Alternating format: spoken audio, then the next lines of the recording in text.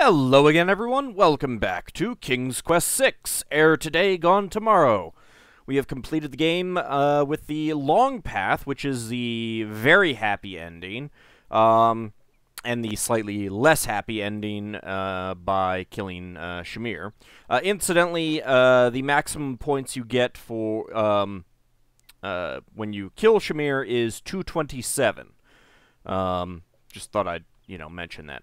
And this path, uh, we're at 142, and I don't think there's many points left. I don't remember exactly how many we'll get for it, but uh, um, I think it's substantially less than 200. Or maybe it's a bit less than 200. Whatever. I, am pretty sure it's less than 200. Um, but yeah, we are uh, back here. This is, uh, what, around episode 14 or so. Um, we just gave the last, uh, the, the White Rose to Sing Sing, and Sing Sing did not reappear. So, uh, let's go back to the village. We've got uh, the lamp seller there again. We do have the hunter's lamp, which we will probably um, trade in. Even though it does absolutely nothing to do so, you do get a few more points. Good day, Prince Alexander. Okay, so once again, we are going to use the drink me bottle and fake our death. You know, gotta always have to, always gotta do the insurance scam. Alexander suddenly gets a very sneaky idea. I can't go on anymore. Without Cassima, I'd just rather not live. Prince Alex, no!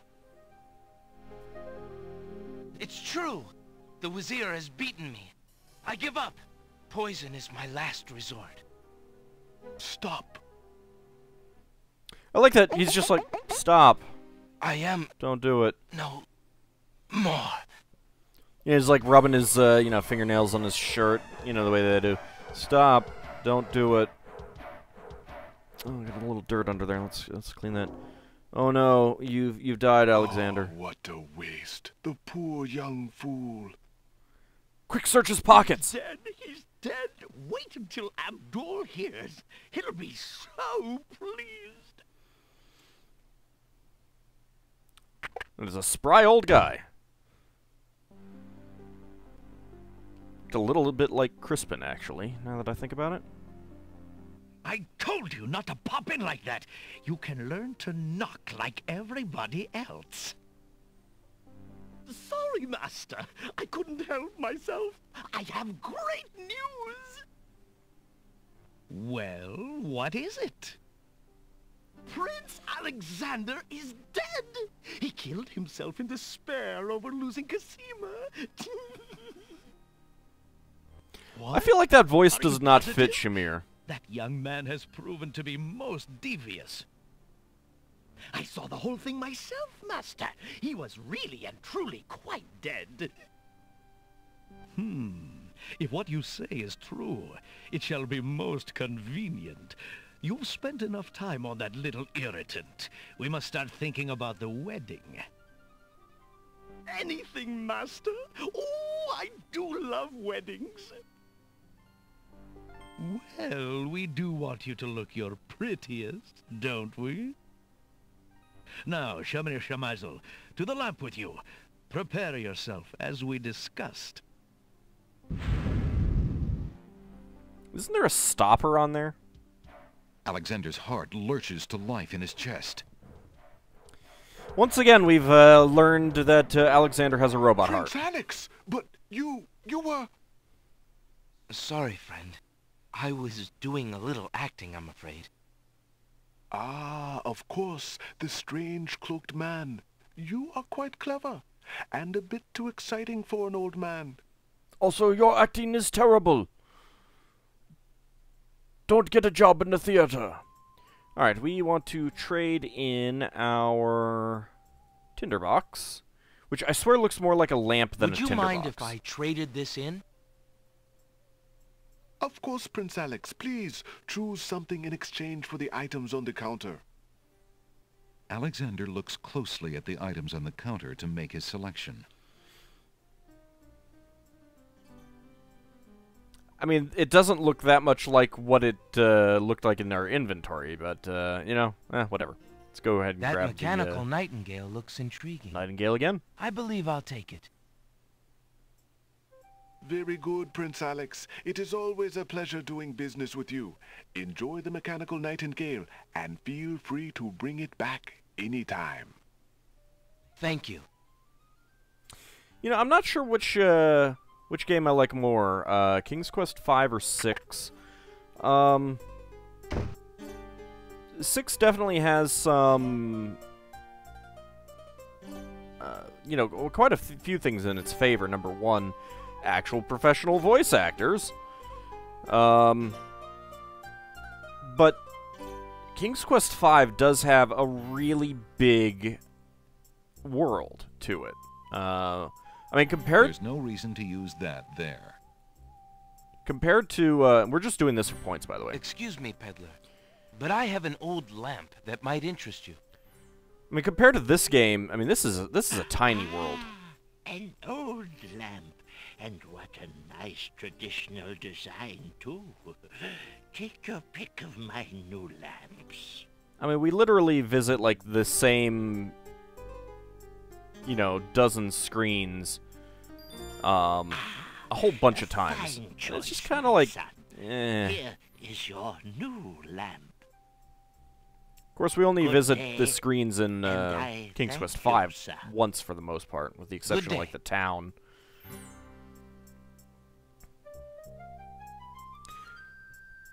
I don't know. Drat. Another dud. Do you really think someone would trade in a uh, uh, lamp with a genie in it, old guy?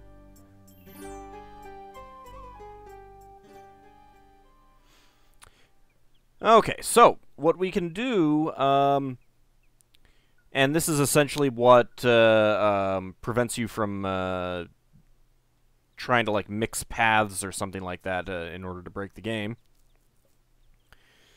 Uh, an item that we lose uh, on the other path comes in handy on this path.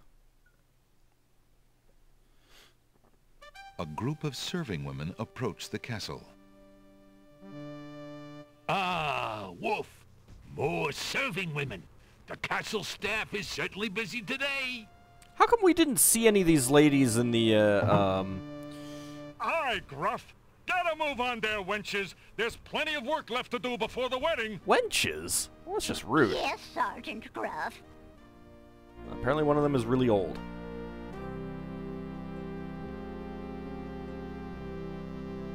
They were all color coordinated too. Those serving wenches are always late. Hmm, late, eh? Let's get into uh, this little guard shack that uh, they, those guard dogs, clearly are uh, not paying any attention to at all. Taking his cue from the serving women he's seen enter the castle, Alexander decides to try a few alterations to make himself more acceptable to the guards. It's not like we saw... He saw. ducks into the little hut to put on Beauty's clothes. It's not like we saw any of those ladies at all. Feeling a little foolish, Alexander slips Beauty's old slave clothes on over his own. A little foolish. Imagine if Cassima saw him like this. Well, here we go. You're awfully mannish there, you know. You there. Girl, you're late. Get a move on before the Wazir sees you. Yes. Yes, sir.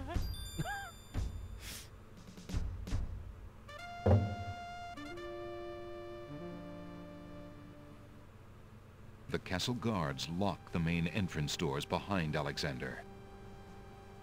From the open door comes the clatter of pots and pans, yelled instructions, and other busy kitchen noises. Ah. Well, now we know what's over there. Girl, don't just stand there. There's a stack of silver almost to the ceiling that needs polishing for the wedding. Get a move on. Yes, sir. I'll definitely do that. That was Sing Sing vo- I Sing can't Sing's afford to get voice. caught up in that mess. I'd never find Cassima. Oh yeah, take off your disguise. That seems that seems smart, and especially right here out in the open uh, foyer. That seems dumb. Alright, well, let's go ahead and uh, take a, a, quick save, and might as well just uh, place this.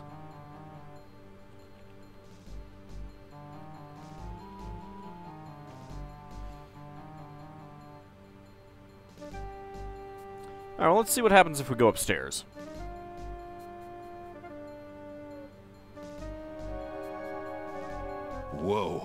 Alexander runs right into a guard dog patrol. Well, it's convenient that he was able to uh, hide in time. The ceiling features a vaulted dome that provides filtered sunlight to the upstairs hallway. Two powerfully built guard dogs patrol the upstairs hallway. The guard dogs patrol in a diverging pattern to ensure constant visual coverage of all parts of the hallway. You know, I feel like, uh, um, they just, uh, copied the, the basement hallway in order to, uh, make this one. Hmm. I wonder. There are two thick wooden doors on the east wall. Large glazed urns stand like sentinels in the hallway. Alright, I think we actually want to be on the other side.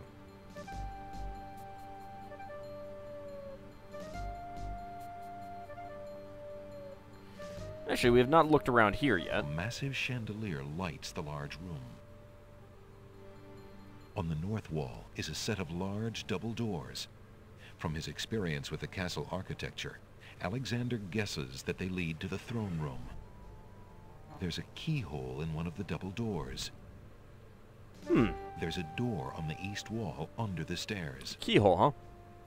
Large urns stand formally near the staircases. They must earn a lot here. There's a door on the west wall oh, under the oh, stairs. sorry. It's the door the waiter came through, and probably leads to the kitchen.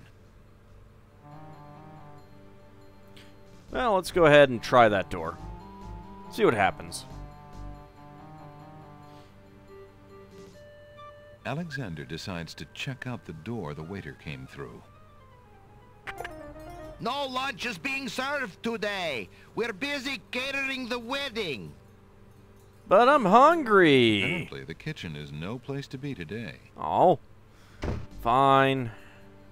What about up here? Uh-oh. Alexander's walked right into a couple of Hi. dogs. I, I I brought sausages. An early guest. Are you on the bride or the groom's side? Uh, the the, the bride's That's side. the foreigner the Wazir warned us about. Grab him. Pilgrim. Oh, shucks. You'll stay in here until we find out what the Wazir wants to do with you. The guard dogs leave Alexander to his fate, locking the door noisily behind them. And I uh, do not have the uh, The skeleton sound key. of running footsteps echoes outside Alexander's cell. Really? What are you doing down here, Shrew? We've already got him locked up. Go back to your post upstairs. The Wazir wanted to know what all the commotion was about, and I told him about the intruder. He told me to post extra guards on this one. Extra guards, huh? So be it. Hmm. I think I'm not getting out of this one. Just as Alexander realizes that he has no possible means of escape, he hears the sound of wedding music playing somewhere in the castle. Oh, someone's getting married. Found Oh, crap. I'll never be able to stop the wedding now. Nope. Tis a noble thing to have a means of escape, and tis a far, far better thing to have, to never get caught at all. Indeed. Alright. So let's not do that. And instead, let's go up this side.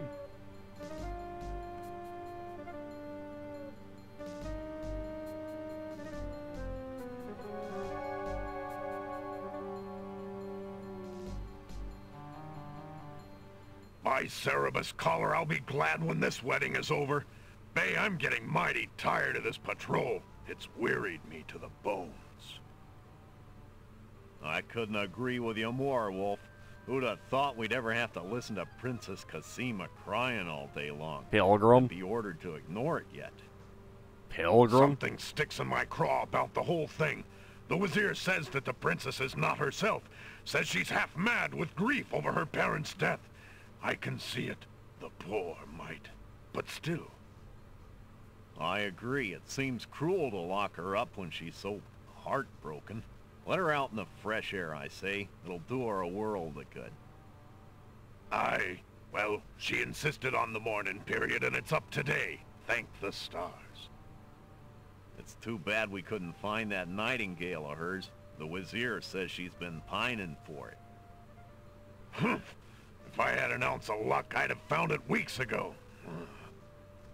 Apparently luck is his dump stat. Not only would it cheer up the princess, but the reward the Wazir's offered for it would make me pretty happy too, Huh.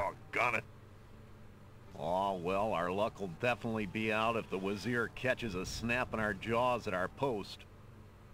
Sorry, Wolf. I'll keep my muzzle shut. Alright, let's take a look around. A marble statue of a guard dog in full regalia adorns the top of a pillar. There's an alcove recessed into the east wall of the hallway. Two guard dogs patrol the upstairs hallway. The guards are short but powerfully built, and they're equipped with strong jaws. The two look like natural fighters, but they don't look very bright. Ah, that's just rude. Alexander can barely make out part of a doorway in the north hallway. A heavy wooden door leads off the hall.